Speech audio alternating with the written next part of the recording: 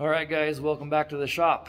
Today we're going to start showing you how to make the Flite Test Wonder Glider kit. It's an awesome kit, it's easy to build, flies really well. So we're going to take you through a few steps, um, show you how the kit works, uh, get it built, and then we're going to go fly them.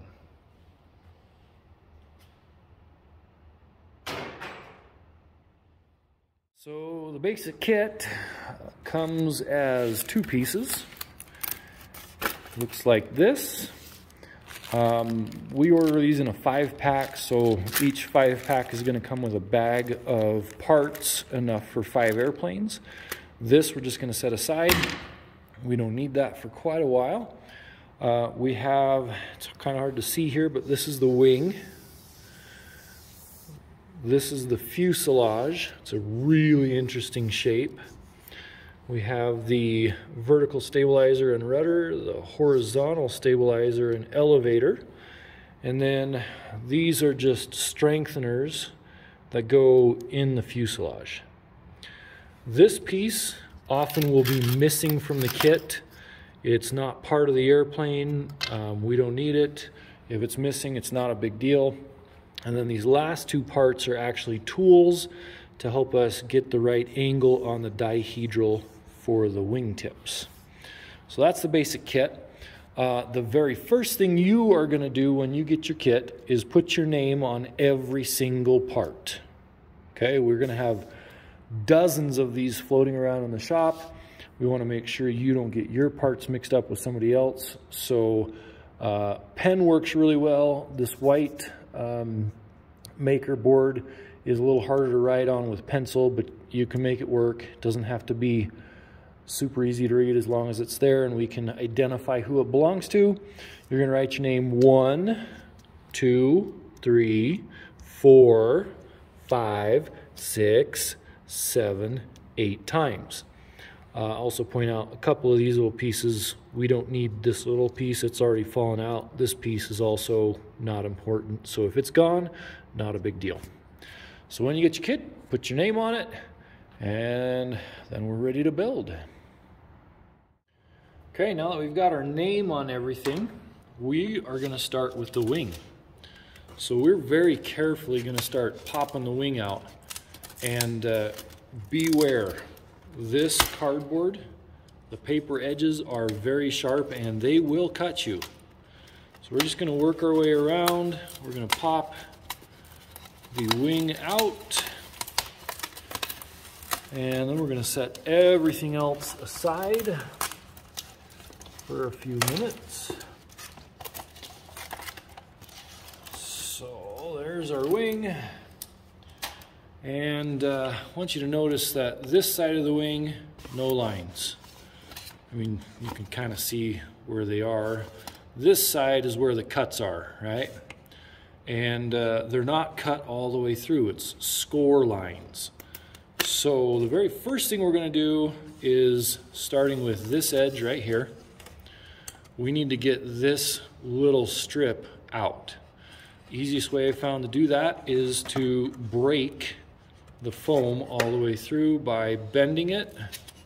So this one was already cracked. So we got it nice and flat. Now the hard part is getting this one the same. So we're gonna have to bend this and then just work our way across, making sure we get the second one cracked all the way just like that too. And finally, we got to rip this strip out. We don't want to rip this paper. So absolute not want to do that. What we do want to do is get rid of this side. So I like to start on an end. I'm going to pinch right here, not tearing that paper. And we just start to peel this off all the way across. Take your time. Again, don't cut yourself on the cardboard. We don't want any foam left. Little piece there. Once you get it started, it should come off pretty easily. And this piece, is gonna go in the garbage. So we can take that, put it in the garbage, we're done. We're left with this big old gap. Okay, this part is going to get folded over so the piece we ripped out is on the inside and make sure there's no little chunks in there. And it's gonna get glued down like that. Put the bump here. So before we put hot glue on there, notice these lines here, one on each side. We want to keep the glue away from these cracks all the way across. We'll put glue in some of those later, but right now I'm going to put a dab of glue here. I'm going to put a dab of glue across this and another dab of glue here. I'm going to set it down and I'm going to make sure I'm holding that down all the way across nice and tight for at least a good good 60 seconds. So here we go, blob of glue here, blob across there like that. Ooh, that's a lot. Some right there. And I'm gonna fold this over. And watch out because it's hot. And I'm gonna hold this down for good 60 seconds until it is completely stuck. If you got some oozing out like that, you can take a scrap and just kind of smush it back in. But again, we don't want glue here or here where those other lines are. So now we just gotta wait. Keep your fingers out of the hot glue. All right, now that that's dry, we're gonna do the next part. So this seam right here, we want this to actually bend this way, but it won't bend. And if we're not careful, it's gonna rip. We don't want that to happen. So here's how we make this bend the wrong way. I'm gonna take the back end of a Sharpie or something big and round like that, and I'm just going to drag it along the crease. And you're gonna have to do this a few times. And what I'm doing is I am crushing the foam along this edge so that we can make it overlap. So I went straight, now I'm gonna turn it, I'm gonna go this way just to mash this side down a little bit more. And then I'm gonna do it the other way. Spin this around. So we can do the other side here. Mash that down. And we just keep doing that until this is still pretty tight, but it's starting to fold until we can get that to go all the way over and flat. So you may have to run it, the marker over it a couple of times until there. Okay, so that gives us a nice curved leading edge right here. Now we're going to work on making the curve of the airfoil. So right now this piece is flat. We want it to be curved and you can see we have these cuts here and that's really already all we need. We're going to squirt a little bit of glue in both of those cracks opening them up just a little bit. Okay, we want to stay away from these we don't want any glue anywhere near these. But I'm gonna squirt just a little bit of glue here, here, and here on both of those lines. I'm gonna flip it over like this, and I'm just gonna hold it until it's dry. That will give this, this part here, the permanent shape we need. Okay, so here we go. We've got our hot glue gun. a little bit here.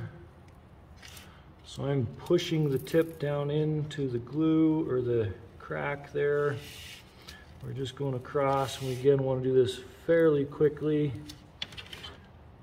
Otherwise the glue starts to set. Cool, I guess would be the correct term. So I'm going to bend that, kind of stick it together. We, we're not quite ready to have it stuck down yet. So I'm kind of pinching these edges together. I'm not really pushing down. But we want to make sure we get the two wing tips as well. And again, we're going to wait for about 60 seconds.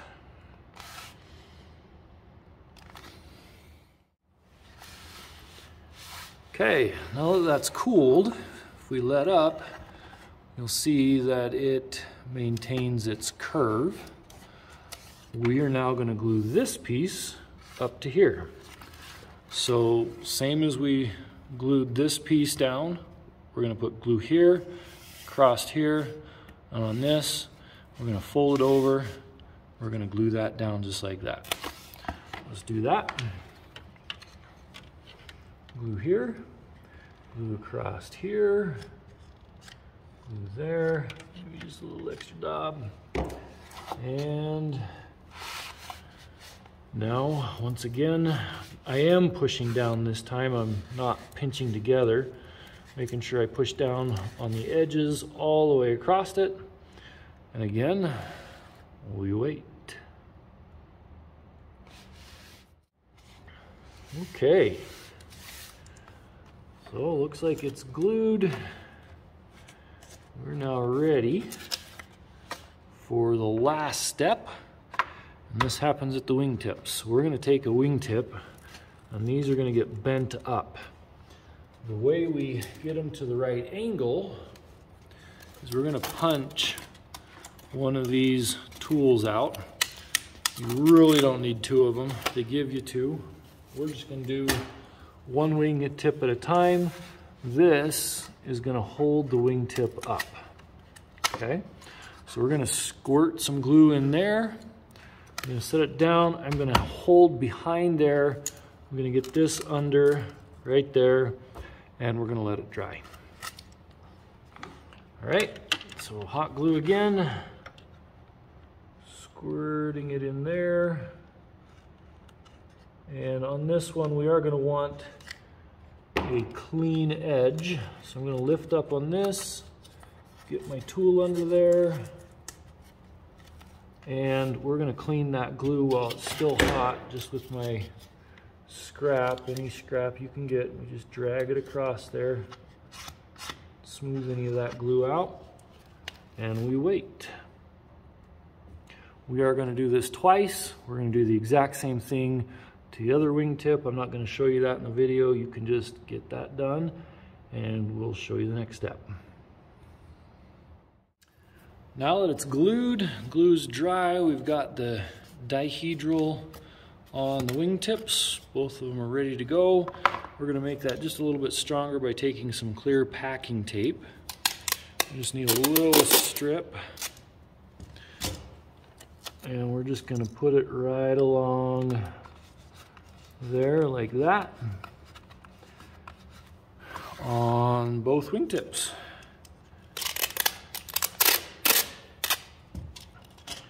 Once we're done with this, the wing is finished. Um, the only other thing I would recommend you do with this wing is you'll notice my name disappeared. It's underneath this, so grab your pencil or Sharpie or whatever it is. Make sure your name is visible so it doesn't get mixed up with anybody else in the class. Um, be a good idea to set this aside either in a cubby or a locker or wherever you're, you're storing your, your parts. Next video, we're going to show you how to make the fuselage.